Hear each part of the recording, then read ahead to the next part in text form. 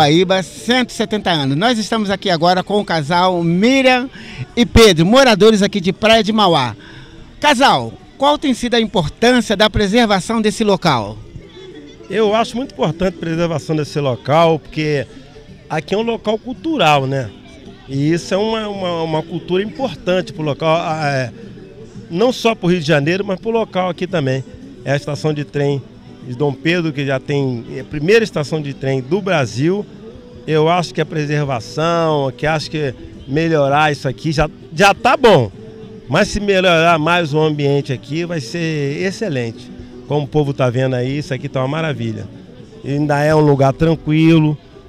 As pessoas que verem esse vídeo vai ver que as crianças já podem ficar à vontade, as famílias estão se reunindo aqui sem ter nenhum problema, sem ter ainda é, é onda de assalto, entendeu?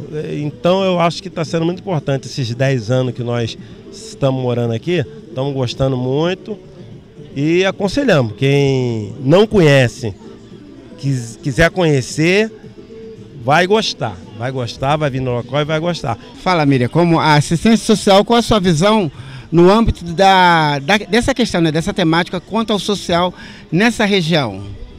Eu acredito que ainda tem mais o que fazer por a cidade, entendeu? A cidade que, nesses 10 anos que nós estamos vivendo aqui, houve algumas mudanças mas pode ocorrer muito mais, entendeu? Que eu acredito que se tiver mais investimento, vai trazer mais turista, mais pessoas, mais, vai dar, gerar mais emprego e até mesmo a questão da, do social, né, é, criar mais projeto para essa localidade, vai trazer mais olhares da, da população do modo geral que não conhece a Mauá.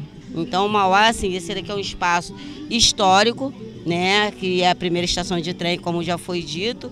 Porém, ainda existe muito mais coisa ainda para se fazer aqui ainda. Tá bom, mas pode ficar muito melhor.